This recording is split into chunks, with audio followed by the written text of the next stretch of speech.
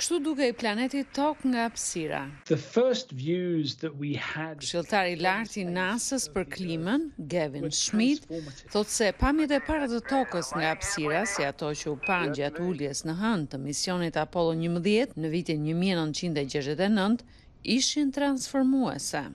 Seeing the complexity of the Earth system and its uniqueness. Të shihje kompleksitetin e sistemit tonë dhe veçantinë e tij në kozmos, për aq sa jemi në dijeni, ka qenë shumë e rëndësishme për shumë e shumë shkencëtarë që punojnë në këtë fushë. Ajo pamje të ndryshon perspektivën në mënyrë të mirëfilltë. It changes your perspective in a very literal way. Por kjo nuk do të thotë se njerëzit janë kujdesur për planetin e tyre gjatë dekadave në vazhdim.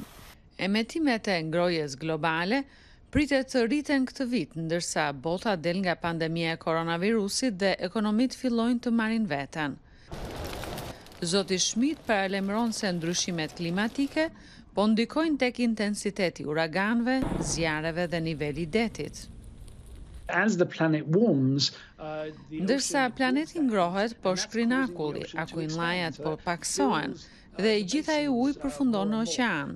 Shkalla e ndryshimit të nivelit të detit që kemi parë gjatë 100 viteve të fundit po përshpejtohet për shkak të këtyre aspekteve shtesë të ndryshimit të klimës. Dita e parë e Tokës, ide e senatorit të ndjerë Gaylord Nelson nga shteti Wisconsin, U shënua në vitin një mijë e nëntëqind e shtatëdhjetë dhe shkaktoi një lëvizje mjedisore që çoi në krijimin e Agjencisë për Mbrojtjen e Mjedisit dhe shumë ligjeve për të mbrojtur ujin, ajrin dhe faunën.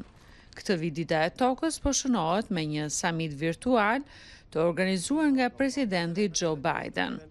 Nën administratën Biden, Shtetet e Bashkuara janë kthyer në Marrëveshjen e Parisit për klimën, Vendet pjesëmarrëse kanë vendosur të takohen në Konferencën Vjetore të OKB-së për Klimën në nëntor në Glasgow të Skocisë për t'i dhënë shtytje objektivave ambicioze.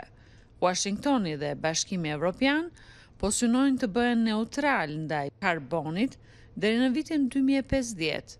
Një objektiv që shkencëtarët thonë se duhet të arrihet për të mbajtur temperaturat mesatare globale nga rritja mbi 2 gradë Celsius deri në vitin 2100. Synimi më ambicioz i Marrëveshjes së Parisit për ta mbajtur ngrohjen globale në 1.5 gradë Celsius deri në fund të shekullit, krahasuar me kohën para industriale, ka të ngjarë të kërkojë ulje edhe më drastike të emetimeve në të gjithë botën.